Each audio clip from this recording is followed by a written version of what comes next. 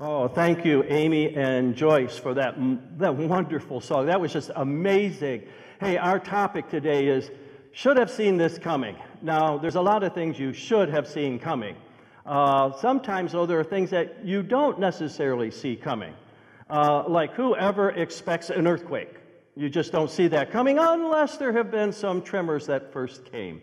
Uh, how about a hurricane? Well, unless you're following the news and you know you got a meteorologist reporting that, you really may not see that coming. But most likelihood, you would see that coming. One of the things that you could probably see coming is an empty candy filled Easter egg, kind of like on the screen. You know that on Easter morning, when the kids get up and they open up those Easter eggs, that they're going to pop that open and whatever candy is inside, they're going to eat it. You just know it is going to be gone, most likely before the day's over. There's certain things you should see coming and some things you just can't see coming. Who would have ever expected the COVID virus to have put us all on a lockdown so that we couldn't even go to church to worship? We just, I mean, who could have seen that coming? We just didn't see that coming. But there are some things that we should see coming, and that's what I want to talk about today.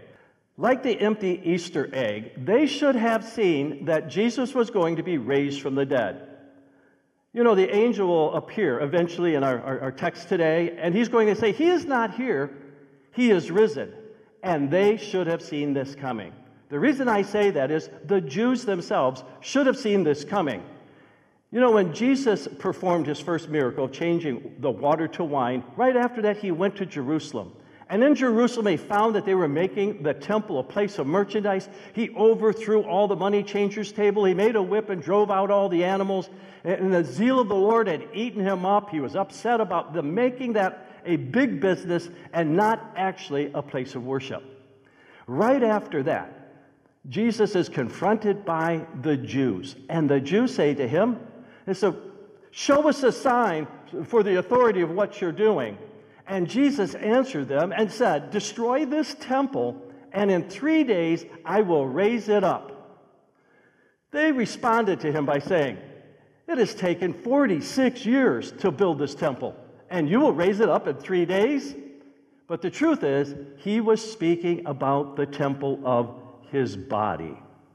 You know, the Jews should have seen this coming because Jesus, from the very beginning of his ministry, told him that he, his body was going to be the temple, that temple of the body was going to be raised from the dead. But they missed that. Now, now the Pharisees also should have seen this coming. We're told a, a little later in his ministry, in the book of Matthew, the Pharisees said, Teacher, we wish to see a sign from you.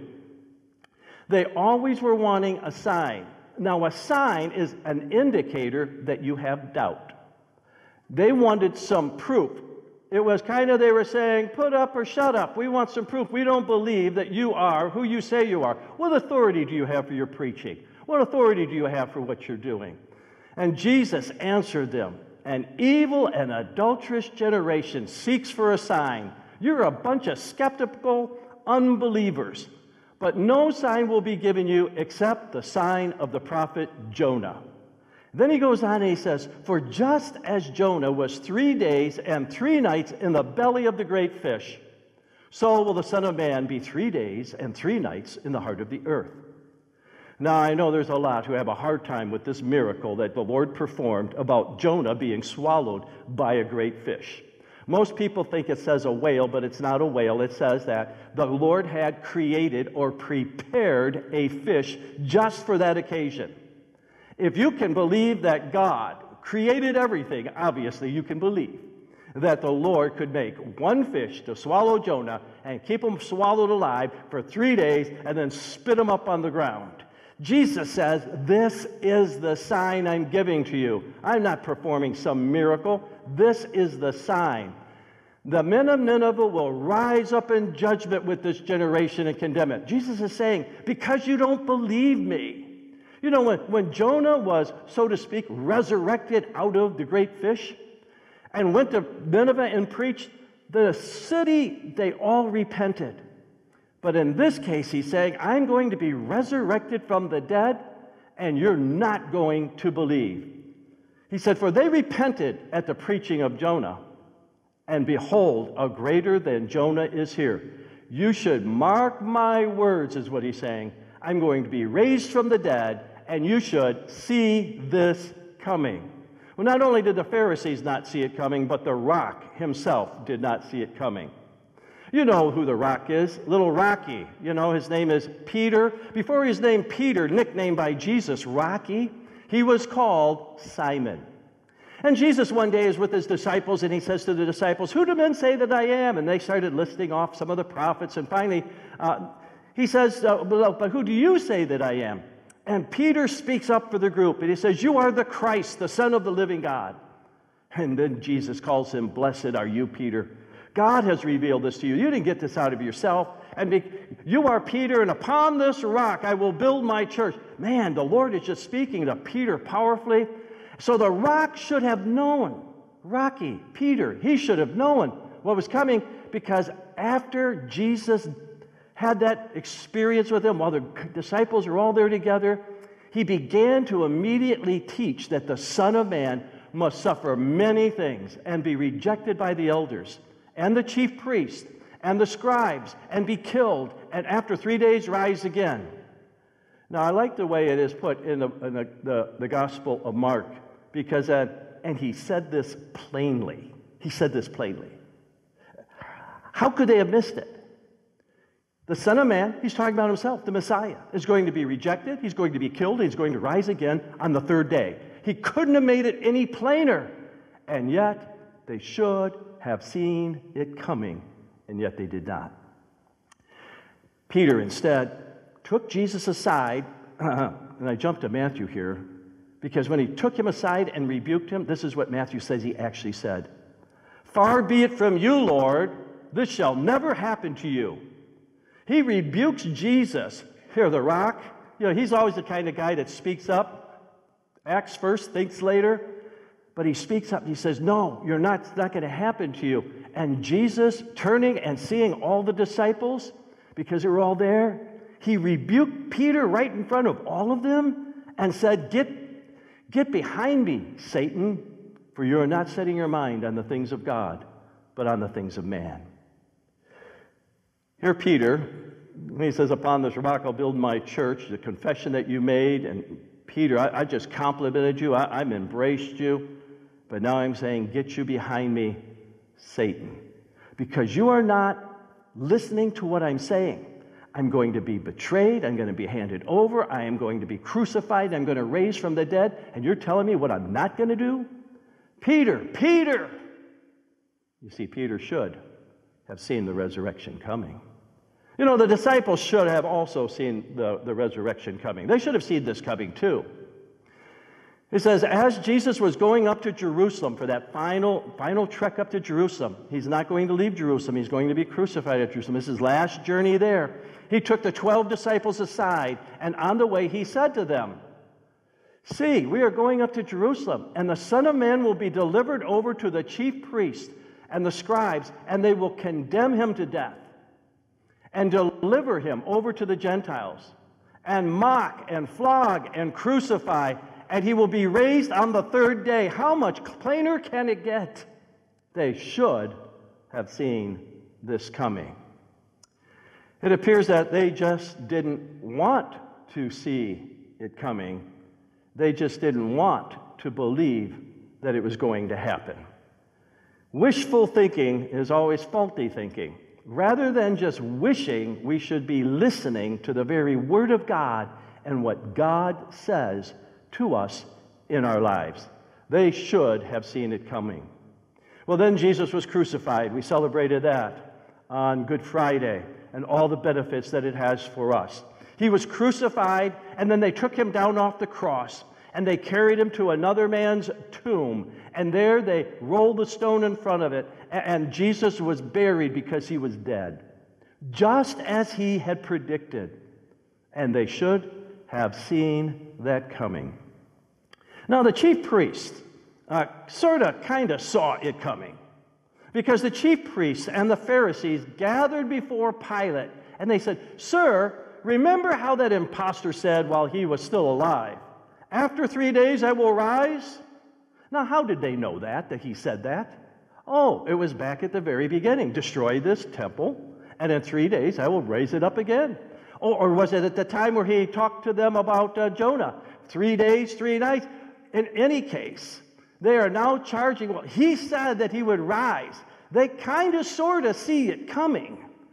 Not that they believe it, but they're wanting to stop any hoax or impostor. And so, therefore, they ask that, that Pilate order that the tomb be made secure until the third day, lest his disciples steal him away and tell the people he has risen from the dead, and the last fraud be worse than the first. It's at that point that Pilate said to them, Oh my goodness, you're worried about a dead man?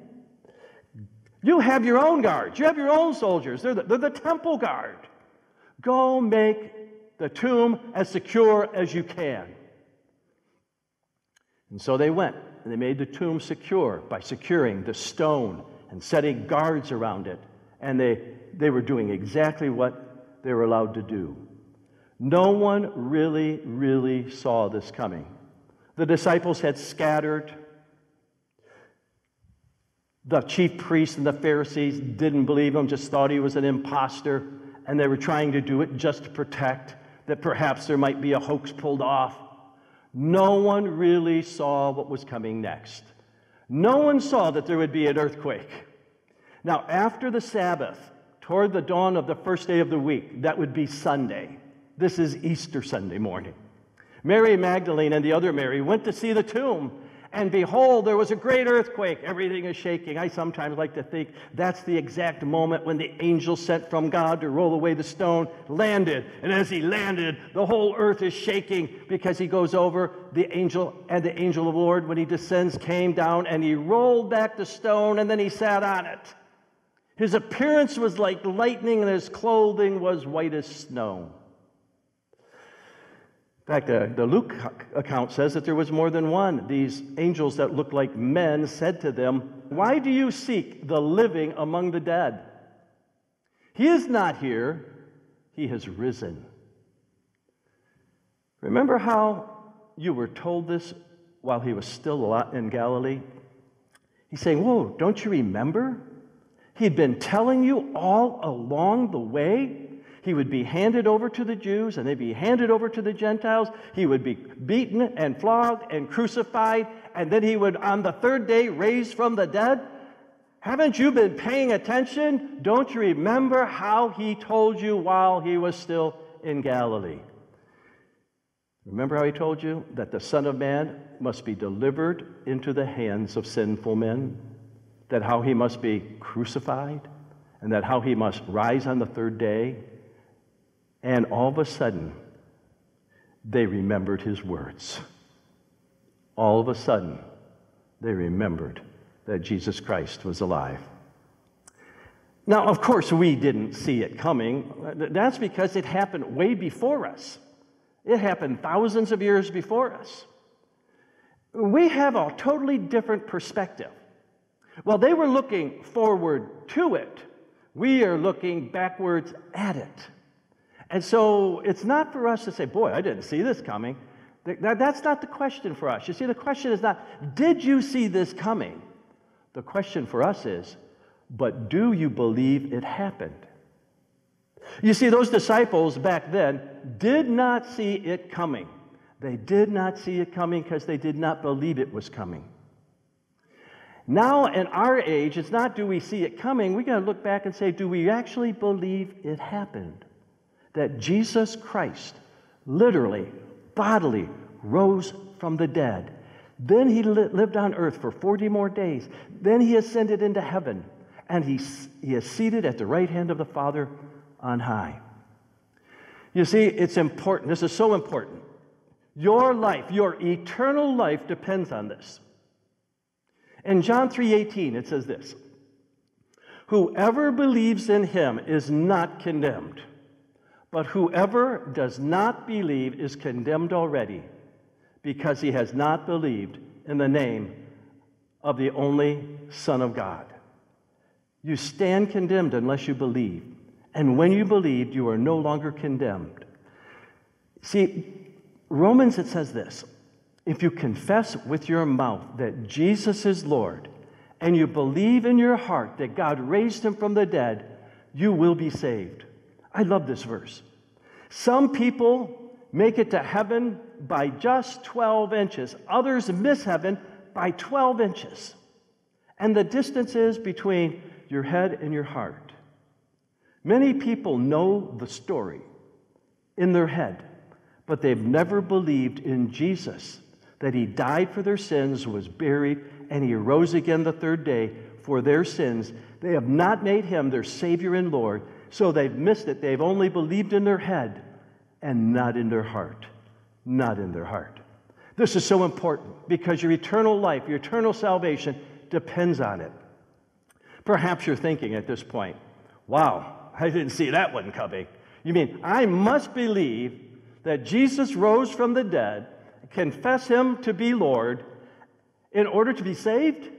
And the answer is to that yes. Yes. Yes. You must believe that Jesus Christ is alive and he is, he is the resurrected Lord. Why not do that right now and be eternally secure? How do you do that? You do that in prayer. You just pray and you call upon him as the resurrected one, and you will be saved. Let's do that now. Let's pray. Father in heaven, if there's someone who is just uh, watching and viewing this service, I pray, Father, that if they don't know Christ, that right now they would call out and say, I believe in the resurrected Lord Jesus Christ, who was died for my sins, was buried, and rose again, that I might have life eternal. Right now, I call upon him and say, Lord, save me. And we know, Lord, anyone who will call out upon the name of the Lord, they will be saved. Save, I pray, in the name of Jesus. Amen.